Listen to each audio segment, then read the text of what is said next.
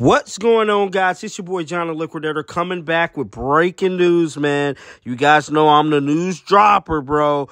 So it's looking like the dominoes might be falling up there in Boulder, guys. For this one here, we're going all the way up to Boulder. Let's get it. Let's go.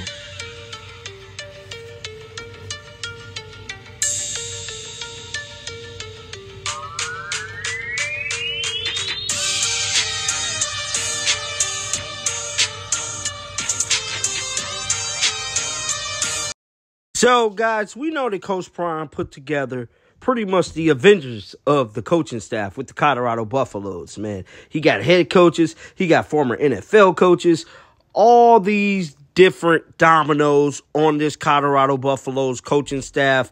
Basically, he's putting together the best recipe to where he can get the best outcome from the 2023 season and the foreseeable future. Now, with all of that being said, I dropped a video yesterday about Mike Zimmer possibly leaving to go to the Broncos. That isn't confirmed yet. I'm still waiting to get some information about that. Now, he also have Kent State former head coach Sean Lewis on his coaching staff as of right now. He's the offensive coordinator working alongside Coach Prime to put together the best offensive recipe to run the Pac 12 for the 2023 season and the foreseeable future. Now, Sean Lewis left a head coaching job to come and join Coach Prime because he stated he wanted to win a national championship and he pretty much liked it what Coach Prime was doing up there in Boulder. Basically, Sean Lewis wanted to do the impossible, just like Coach Prime is. Now, with all of that being said, guys, is it me or is it just people targeting Coach Prime right now? Because they're not liking everything that's going on, all the uh, publicity he's getting, Colorado's been trending every day. He's a whole algorithm on YouTube, so on and so forth. With all of that being said, guys, I hate to tell you this. Notre Dame is coming, baby. Oh, they coming, coming. Because they want Sean Lewis to be their offensive coordinator, guys. Oh, yes. It is being reported that Lewis is a top candidate for Notre Dame.